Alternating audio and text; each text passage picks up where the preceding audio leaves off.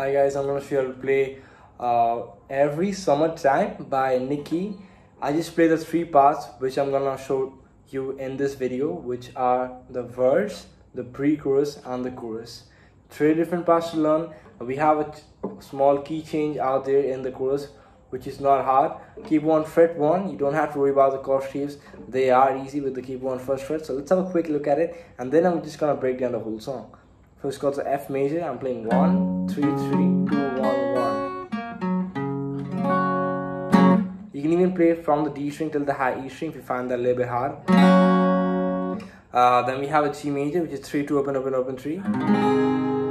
Then we have a A7, which is mute, open, second, open, second, open. Uh, we have a D major, mute, mute, open, second, third, second. D minor, mute, mute, open, second, third, first. Flat, mute on the E, 1 on the A string, and you can use your pinky or your ring finger to bar the third fret of the DGB. High E string muted. Uh, what else do we have? Yeah, we have pretty much got all the chord shapes. Now I'm gonna show you the verse firstly. So this is a basic chord progression. We play a D major chord which goes for two bar and then we have C for one bar and G for another bar. So we got D, D, C, two, three, four, two. Pretty simple but uh, just kind of make it a little bit more advanced. So I'm having a plectrum in my hand if you can see. Uh, it's matching with my shirt color which is red. So I'm playing on the D major chord I'm playing D, G, I just play DGB. And then with the uh, middle finger and the ring finger, I play the B and the high E string thrice. And I kind of mute that after uh, letting that, I uh, don't let that ring. So, see that?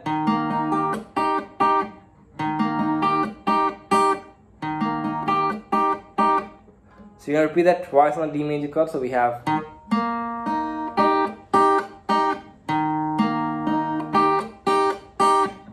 I'm gonna repeat that once on the C major chord.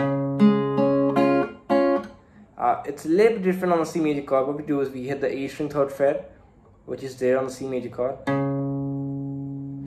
G string open. B string first fret, and you hit the B string and the high E string twice with the same fingers. Make sure you mute that and do the exact same thing on the G major chord. But instead of hitting the A string, we're now gonna hit the top E string third fret. So we have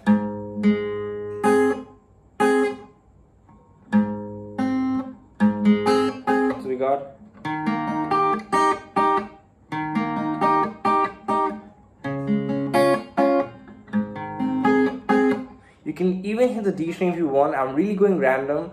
This is not there in the song, but uh, we just gonna try to mimic that uh, music going on. Uh, so we can just do anything we want, but make sure you just follow the chord progression, stay in the count, stay in the rhythm. That's it. So we got.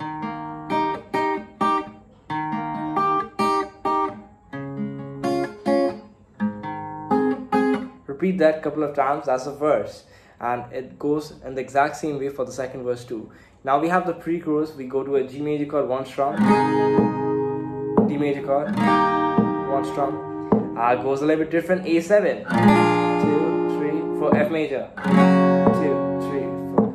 G three four. D C A7 that's how the pre-chorus goes. Eight chords I mean two lines of chord so we have eight chords to play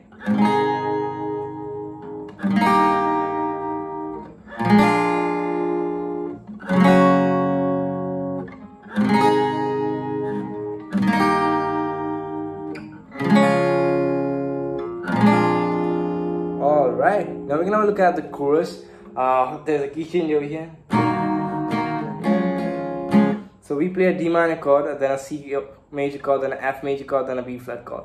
I like to keep the string pattern super easy, which is down, down, up, up, down. I'm gonna repeat that once on each chord, and you're gonna see that it sounds very well with the chorus. So we have minor, up, up, down, C major, down, down, up, up, down, F major, down, down, up, up, down, B flat, down, down, up, up, down, D minor.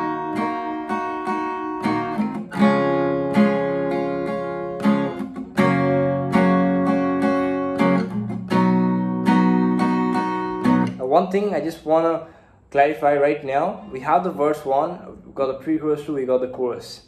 After that, we have another verse, another pre-chorus which goes in the exact same way, and then we have this chorus which is going on, and then after the chorus, we have some extended part of the chorus which you can say a bridge which is following same chord progression of the chorus. But instead you can just do one dance stroke. I can keep, keep it a little bit soft if you want. And then it just goes to the outro which is the end of the song and that's it for this video guys. I hope it helped you out. Let me know what songs you just want to learn. And uh, make sure you subscribe and bye